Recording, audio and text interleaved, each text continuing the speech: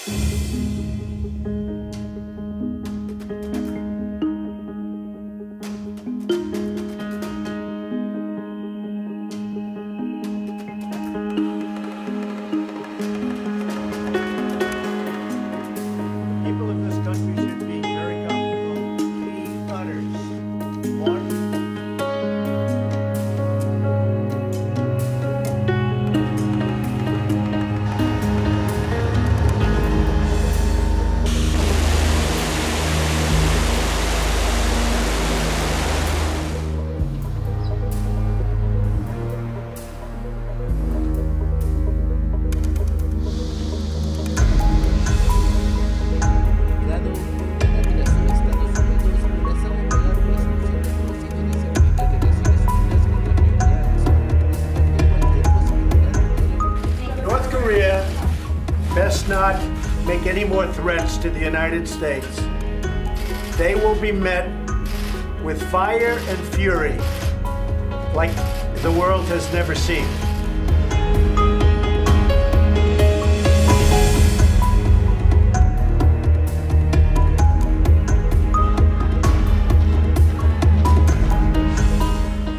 If North Korea does anything in terms of even thinking about attack of anybody that we love or we represent or our allies or us, they can be very, very nervous.